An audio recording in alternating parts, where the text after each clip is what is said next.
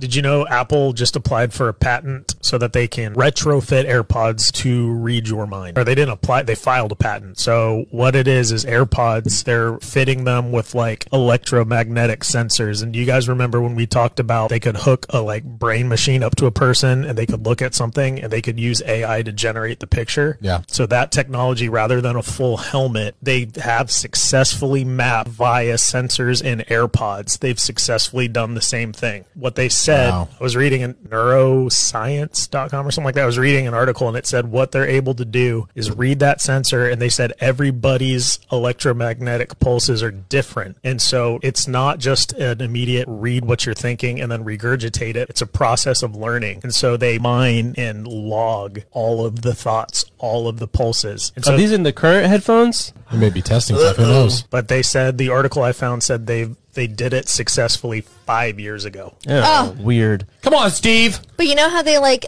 updated the f- iPhone 15 in France with a software update so it wasn't spitting out radiation? Oh, they yeah. probably can do the same thing with all of their. Think Hey, we fixed yeah. the radiation. Think about the think Oh, about the iPhone, th- like the the heartbeat sensor and all that stuff. Not the iPhone, the the watch. Yeah, yeah. Stuff they're taking out. Like this could be a behind the scenes. Like they're like, we don't like what you're doing with the tech, so we're trying to shut you down. And I was telling people to stop using AirPods before I saw this because of